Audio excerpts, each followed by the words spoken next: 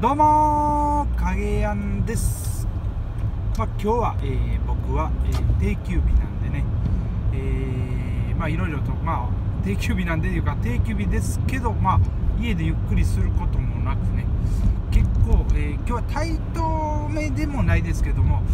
えそれなりにこう動いていこうかなというふうに考えております。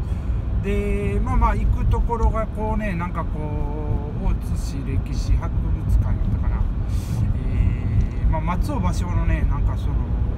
なんかの展示があるんでね、えー、それをこうちょっと見に行ってもいいかなと思ったりはしてます。まあ多分そこへ行くんだ。まあまあ予定は未定っていうか絶対そことは限らないですけどそこへ行く予定はしていてで時間があればですね森山せんべいですね、えー、森山春クレン作業場いうところで、えー、森山せんべい森山羊羹とかこう売ってるんですね、まあ、100円ぐらいでこう買える。やつそれを1000円分ぐらいいろいろ買うっていうのをね毎月しててで2月がちょっとね、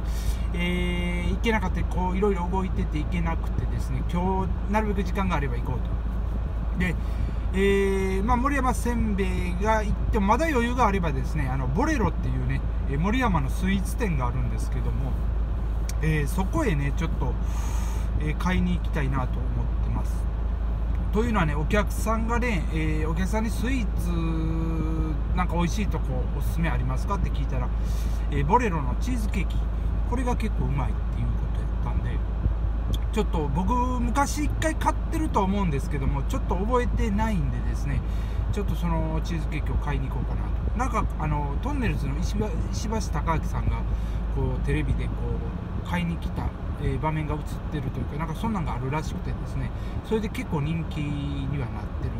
えー、すごく美味しい店ででチョコレートを、えーどっか東京の方でこう例えばバレンタインの時にこうチョコレートをこう出したりする時にこう、えー、出してるとかいうこともこうそれも違うお客さんですけどもちょっと聞いたりもこうしたんでね結構こう幅広くこうされてるのかなというところで1回ちょっと1回というか1回行ってるんでしょうけど全然覚えてないんでですね、えー、もう1回ですねこう行ってみたいなというふうにちょっと考えております。で朝がですねそのまあまあ、え、売り上げ入金したりクッキーこう引き取りに行ったりこう、えー、なんやかんやこう蔦屋にこうレンタル返したりとかシャトレーゼに行ったりとかね、えー、こうするんですけども、えー、時間があればこう墓参りを行こうかなと思ってますけどちょっとうん今日は難しいかなという感じはしてますね。ちょっと難しいかなと。墓参りまでは行くことはできないかなと。ではありますね、うん、まあまあね墓参りは月1回なるべく行くようにして1月は、えー、行けてないというか12月31日と12月の頭に行ったんで1月は行ってなくて2月行ってで3月もまた3月入ったんで、えー、行くようにこうしようと。行くようにしようというかまあまああの行ける時はどんどんこう墓参りいうのは行っときたいと僕の中で思ってるんでですね、えー、ぜひ行こうかなと思ってますけどそれが今日になるか、えー、来週もちょっと難しいかな、えー、再来週ぐらいになるかというところでありますね、え、再来週ぐらいに行けるかまあ今日